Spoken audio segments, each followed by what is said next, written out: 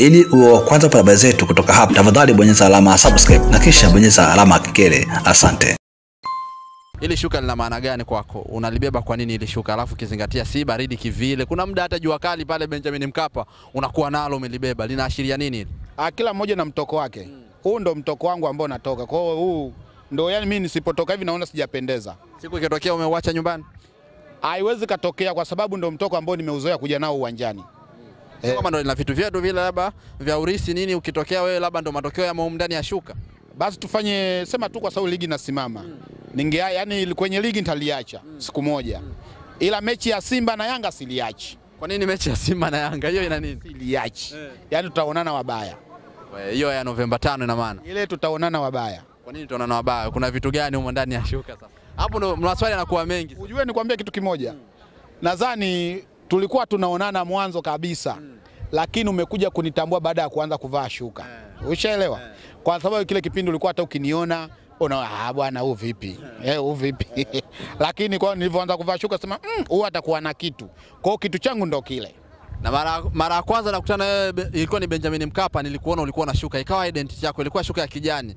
Kadri siku inavyozidi kwenda na kuona unakuwa na shuka ya njano, hauziachi. Watu wamekufahamu baada ya kupata umaarufu sasa, si juzi baada ya mechi ya sasa. Mimi nakujua tangu, tangu kitambo, lakini ulikuwa uje kuonyesha makocha yako hivi sasa. Ni kwamba huwa unafahamu matokeo ya mechi zote au ndo hizi mechi za Simba na Yanga za Novemba tano kama unavyosema hivyo? Ah, inategemeana na siku hiyo nimeamkaje.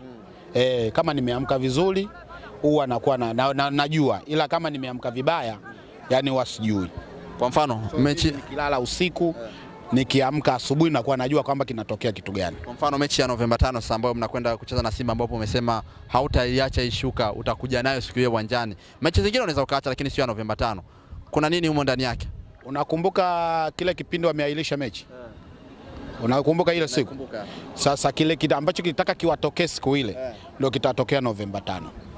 Kilicho kitaka, ambacho walikimbia siku ile kitatokea Novemba tano. Kitu gani kilikuwa? Ambacho mechi ilikuwa inachezwa saa kumi na moja saa nane wanasema mechi saa moja ambayo kisheria ni haipo duniani kote. Sasa kitu walichokikimbia siku ile ndio kitakuja kuwakuta tarehe Novemba tano. Ngapi na maana ushaziona huko? Nimekwambia kwa- siku bado zipo.